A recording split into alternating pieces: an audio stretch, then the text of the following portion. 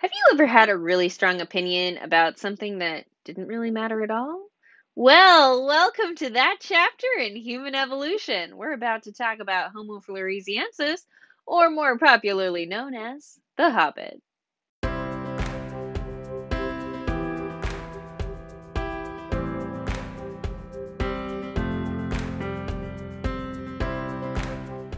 We have a lot to thank J.R.R. Tolkien for. He's inspired almost all of high fantasy after him, but also we have popular references everywhere, and this is one of them. Um, so now we're talking about Homo floresiensis. This was discovered in Flores Island of Indonesia, of course, for which it's named. So here's the cave where it was found, um, and you can see just how tiny and adorable it is. Um, there's its discoverer holding one of the crania. Um, so Homo floresiensis was found on an, on an island, and one thing that's fairly common on islands is island dwarfism. So on islands, you can sometimes find small elephants, um, but you can also find really large lizards. It's kind of weird. Um, so we think it this might be an instance of island dwarfism with humans. Um, because we are seeing a remarkably smaller body size than um, other hominins.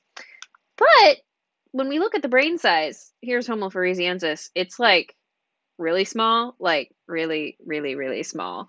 Um, and especially when we uh, scale body size for what we expect based on, uh, sorry, scale brain size based on the body size, it's actually a lot smaller than we expect. So Homo floresiensis is just weird all around. Um, so let's let's talk about some of the bones we have. Um, so we have, you know, a lot of different types of bones for these guys. Um, oddly, their hand and wrist bones, they are actually fairly primitive. Um, their femora do appear to be pretty bipedal, but you can see its legs aren't particularly long. And it also has bizarrely long feet. Um, but really, the most contentious thing, of course, is the crania, because, like, why is this thing so small? Um, so here we are comparing a modern Homo sapiens with Homo floresiensis and a microcephalic Homo sapiens. Because really, people are arguing, like, okay, is this a real species? Or is this just a pathological modern human? That is the main debate centering around Homo floresiensis because these guys are fairly recent. Um, I want to say these are about like 18 to 13,000 years ago. Um, so people have been making comparisons here. Microcephaly is the most common um, pathology that people are looking at. Um, overall, it especially when we're looking at the rest of the body parts and we're seeing primitive parts in the wrist, um, that does tend to indicate that it's probably a real species and it's not uh, just a pathological modern human because it would be weird to see primitive parts in the rest of the body.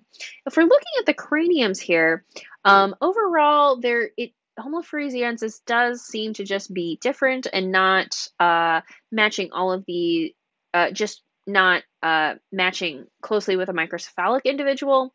Um, you know, there are some similarities here in, in brain size, but the overall morphology of the face does seem to match a little bit more closely with other hominins and not really just a microcephalic individual. You can see there's some shape differences that are missing between Homo floresiensis and this microcephalic person.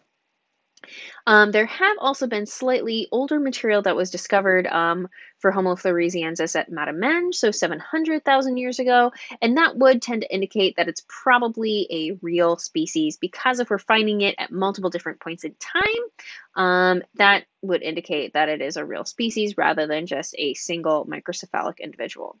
Um, of course, it is just hard to figure out what's going on without more fossils, and that's the main thing we need to see here.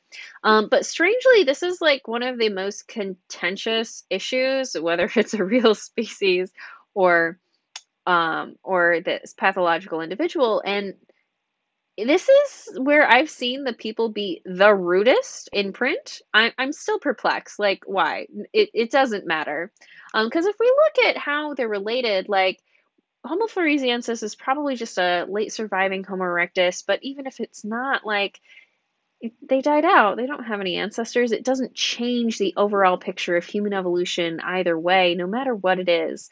So the re- why people are so incensed about one way or the other, it really, really doesn't matter.